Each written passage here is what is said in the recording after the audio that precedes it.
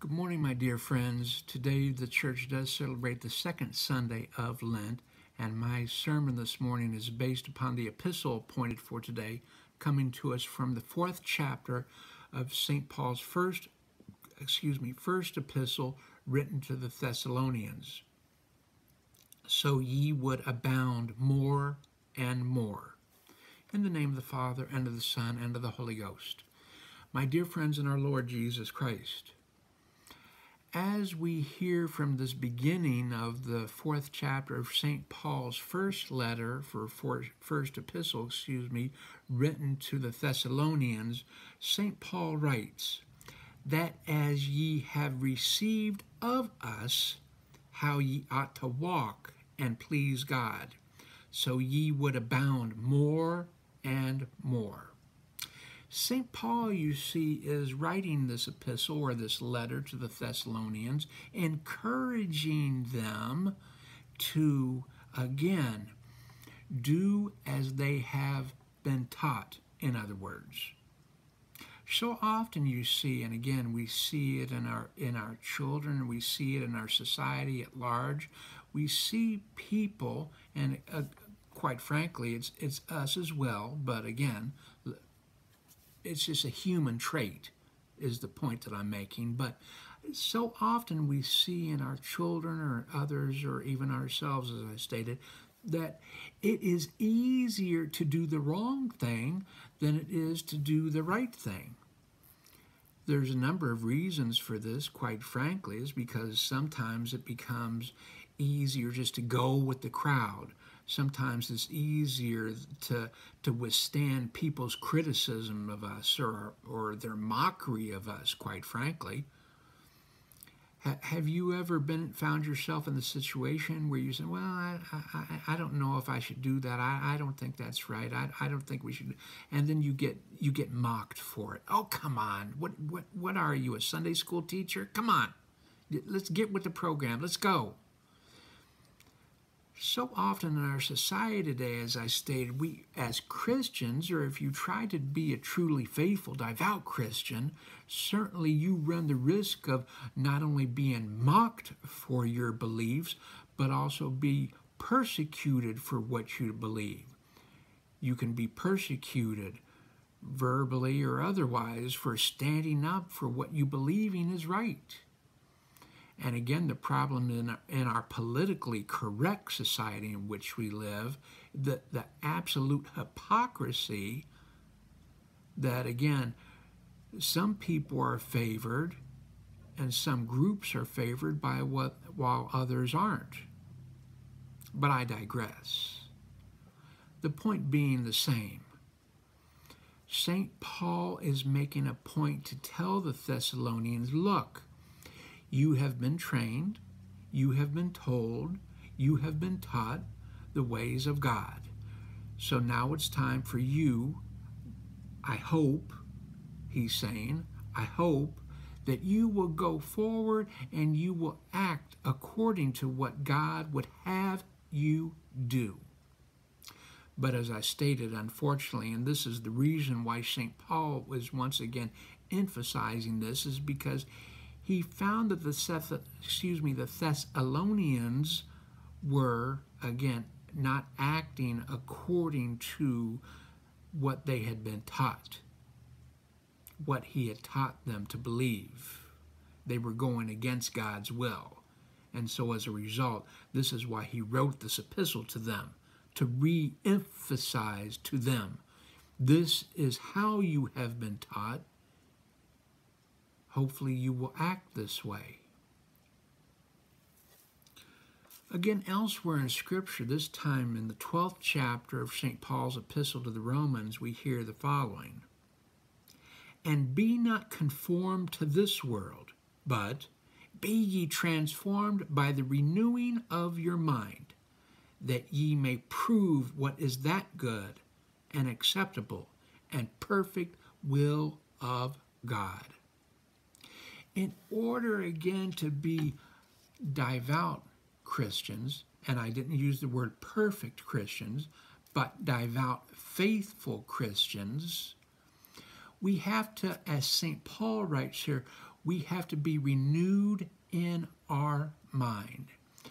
So often, again, dear friends, and as we heard here, unfortunately, so often in our society, the majority of our society is in fact conformed to the world.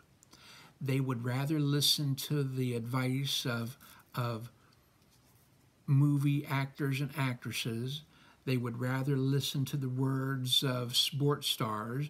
They would rather listen to the words of politicians, the hollow words, might I add, of politicians who are only trying to seek votes so they can stay in office and give you what you want to hear. But again, I digress so often we want to listen to commercials, we want to listen to our friends' advice, we want to listen to, again, our own desires.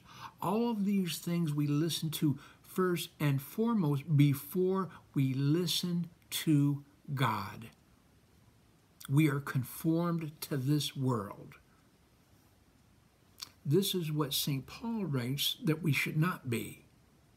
We need to be renewed in our mind renewed in our faith, renewed in our wills, renewed in our commitment. Again, as faithful, devout Christians who are certainly far from perfect, and I just speak for myself, quite frankly, because I'm not going to accuse anybody else, but I can certainly accuse myself. I am far from perfect, but that being said, I and you have to be renewed in our faith so that we can stay close to God and to do His holy will. Elsewhere in the epistle to the Philippians, this time again in the fourth chapter and the ninth verse, we hear, Those things which ye have both learned and received and heard and seen in me, do, and the God of peace shall be with you. Again, as I point out in my sermons so often, St. Paul is stating here not only that as Christians, we need to preach not only with the words that come from our mouth, but also with the actions that we perform in our lives.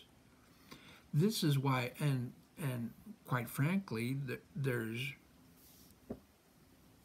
valid criticism for this in the world because this is what happens so often in the in the public at large, in the media and so forth.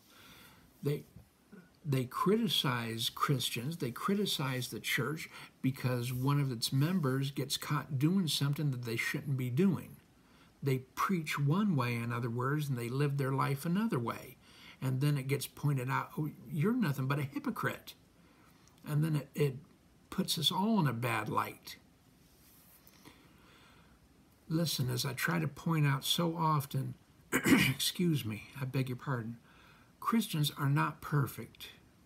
I'm certainly not perfect, as I pointed out, but that being said, we need to do our utmost and we need to do our best to continue to live the way in which God not only has taught us to live, but expects us to live.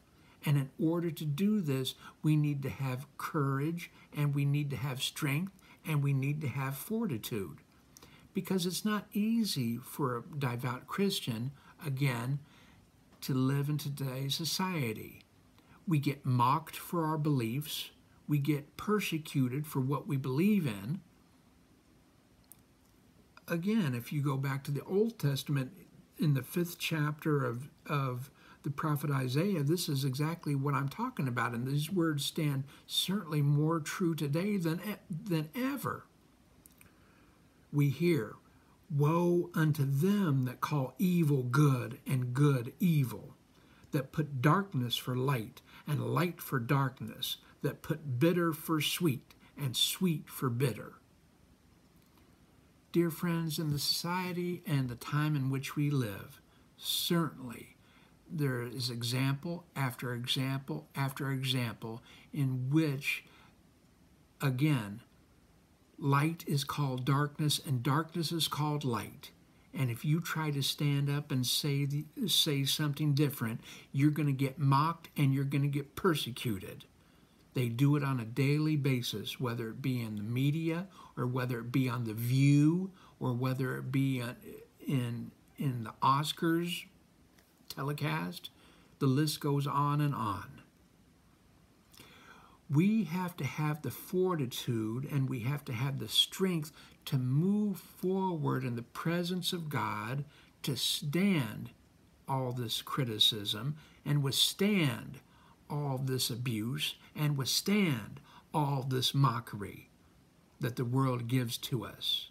And this is why I said, like I did earlier, quite frankly, sometimes it's easier just to be quiet.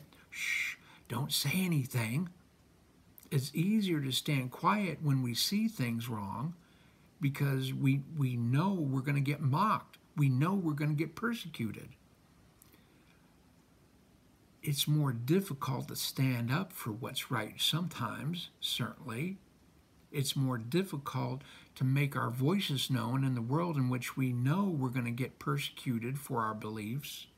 And yet, this is exactly what God did when He sent His only Son into the world this is exactly what happened to our blessed Savior. He was mocked and he was persecuted for what he chose to believe and what he chose to teach about his heavenly Father. And yet, our blessed Lord had the fortitude and the strength to keep moving forward, keep moving forward to that blessed cross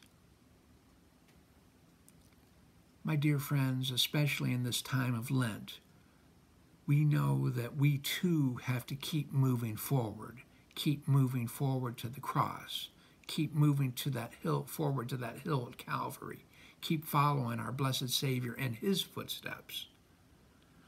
Let us this day always remember what our Lord did for us on our behalf, and then try to emulate him as best as we can to remember his words and to try to live out those words in our lives. In the name of the Father, and of the Son, and of the Holy Ghost. Amen.